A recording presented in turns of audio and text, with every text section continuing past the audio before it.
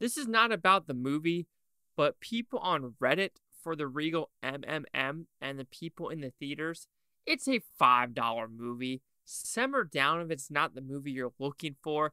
It is a movie mystery. Mystery!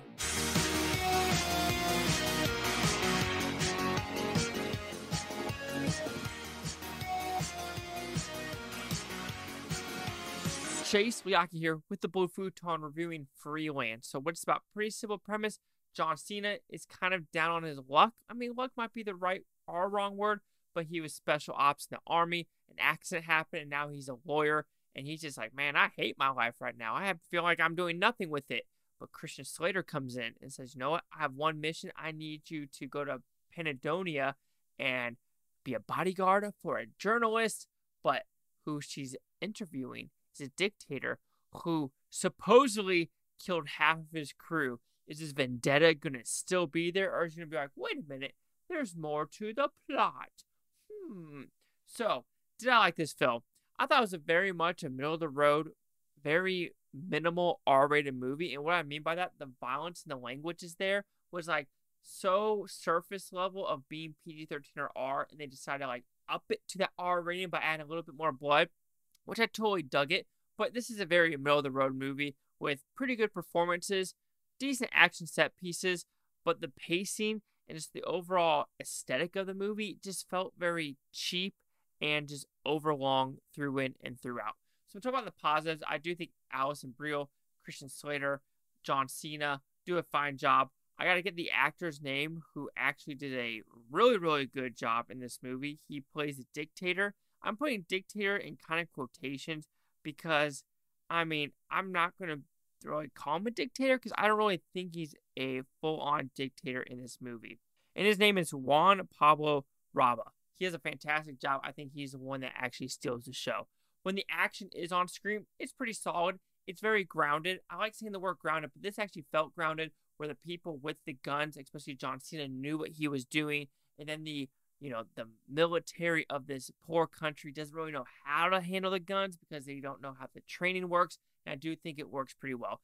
Even though I think the them as well as the South African mercenaries are like stormtroopers. None of them can hit shit for like the longest time. It's like shotgun blast, shotgun blast, shotgun blast. Like, man, who hired you guys? Because you're complete awfulness. And of course, then when the other mercenaries come in from America, CDI's company, it does a pretty good job of them knowing what they're doing. The story is a been there, done that to an extent because there was something where I was going to go, oh man, they're going that old, same old route of, you know, CIA, America doing something and, you know, there's an espionage something and America's trying to do everything. But they, they actually decided to expand it to other countries, which I thought is a little bit smarter because when you think about what is happening geopolitically around the world, it's not just USA doing all this stuff in South America. Hint, hint, a lot of China is doing stuff there. And hint, hint, the BRICS dollar. So, you know, everyone, you know, Hollywood is finally going, wait a minute, maybe USA isn't the only one pulling the strings and doing shady shit in other countries. So I like they decided to take that to a different level. I do think for it being a kind of a two ish hour movie, hour 50 minute movie, it felt a little bit long, or you needed a little bit more action set pieces go in between.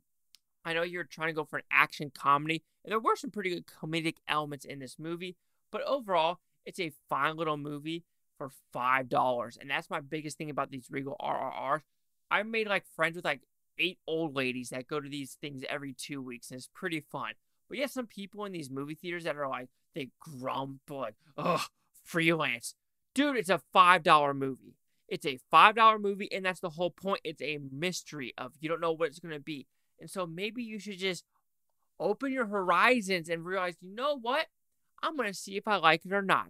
But you just have some people that are just sticks up their fucking asses and you're just like, dude, calm the fuck down. Even on the Regal Reddit, you're just like, it, it starts in two hours and I, we don't know what it is.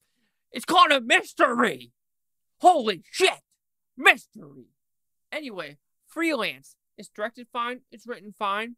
I think the action is pretty good. The comedy kept me entertained, even though there were some pacing issues in the second half of the movie. And then when the third, you know, final boss battle, if I put it that way, or action set piece happened, I was like, yeah, I'm having a pretty good time. And overall, I can recommend this, but don't expect a lot.